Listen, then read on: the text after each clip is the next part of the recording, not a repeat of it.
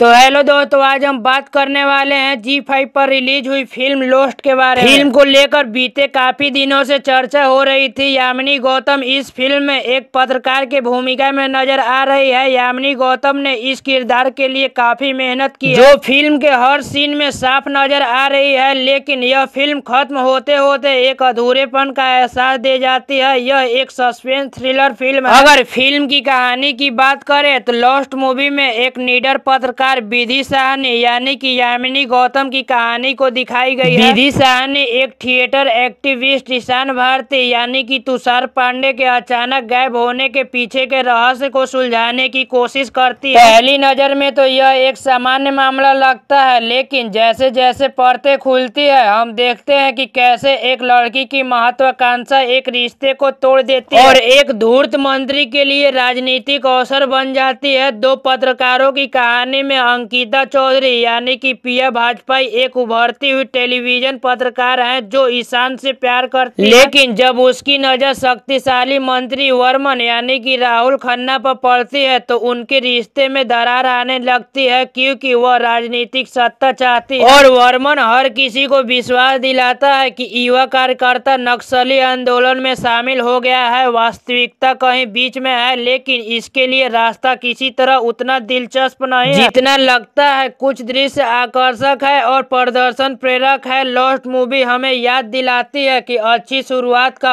अंत आधा अधूरा भी हो सकती है। और आपको बता दें कि इस फ़िल्म में पंकज कपूर भी है, जो फ़िल्म में रीढ़ की हड्डी वाला काम कर रहे हैं। पंकज कपूर और यामिनी गौतम के बीच के दृश्य सने से भरे हुए जो कहानी को और ज़्यादा मज़बूत कर देता है तो आप लोग कॉमेंट करके बताइए की आप लोग इस मूवी को जी फाइव पर देखे या फिर नहीं देखे। देखे अगर देखे तो आप लोगों को ये मूवी कैसी लगी? तो चलिए अब हम आप लोगों से विदा लेना चाहते हैं। अगर वीडियो अच्छी लगी हो तो वीडियो को लाइक कर दीजिएगा। चैनल पर नए हैं तो चैनल को सब्सक्राइब करके बेल आइकन घंटी को प्रेस कर दीजिएगा। और अगर फेसबुक पेज पर देख रहे हैं तो फेसबुक पेज को फॉलो कर लीजिएगा। तो चलिए मिलते हैं अगले नेक्स्ट वीडियो में। तब तक के लिए टाटा बाय बाय जय हिंद वंदे मातरम।